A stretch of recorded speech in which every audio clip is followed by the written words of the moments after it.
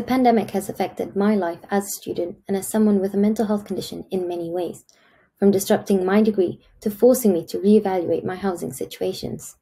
When we went into lockdown, I moved back in with my family. I had been so used to living on my own, it took me months to feel settled in my new environment. However, through the multiple lockdowns and tiers we have faced, there have been three big things I have learned about myself and my mental health. From listening to my body, rebuilding my coping strategies, and speaking openly with my family. We've all had different ways of adapting to the new normal of the pandemic, but as someone with a mental health condition, COVID has had its challenges. Before the pandemic, I personalized different ways of coping with my mental health highs and lows.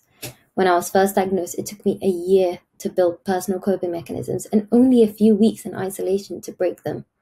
Understandably, staring at the same four walls and your computer screen for months on end would drain anyone. I saw numerous posts on social media talking about the importance of staying active, taking breaks, and finding new hobbies. With all that being great advice, it felt insufficient for me and my mental health because during my non COVID life, it was activities like going dancing and exploring new locations in London that helped me distress and kept my mental health happy. Rebuilding these coping mechanisms to ensure they were more COVID friendly took time, but eventually I found ways to give back power and control to my life and mental health.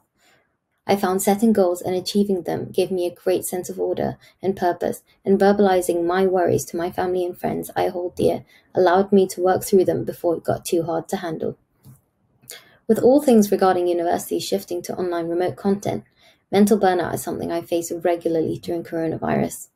As we went into lockdown during a pivotal part of my BSc year, when I was writing my group dissertation, finding the motivation to continue with university work was something I struggled with on a daily basis. For me, mental burnout looked like having trouble focusing or remembering things, having a sense of failure or self doubt, or lacking motivation or feeling defeated. Initially, I would try and fight my body to generate motivation within myself, pushing myself to continue working even when my body was telling me otherwise. I realized that pushing myself was actually counterproductive to my productiveness. By listening to my body and mind when I was exhausted and taking time to re energize, I prevented myself from entirely burning out.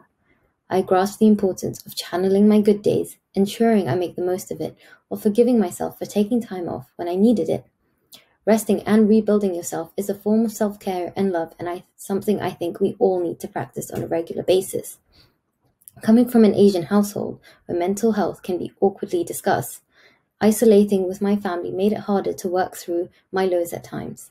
Having said that, my family has come a long way in opening up and discussing mental health. One thing I've learned is the importance of setting boundaries, and there is no shame in asking your family to respect these boundaries.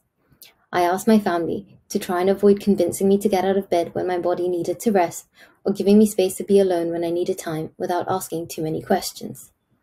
Setting boundaries with my family helped me work through my feelings on my own schedule while maintaining a healthy and happy relationship with them. Albeit difficult, setting boundaries was another important part of self care as I was taking responsibility for how others treated me and my own needs seriously. Through all the challenges I faced during COVID, I learned a lot about myself and, importantly, my mental health. By listening to my body, rebuilding my coping strategies, and speaking openly with my family, I've been able to adjust to the everlasting hurdles COVID 19 has thrown at me.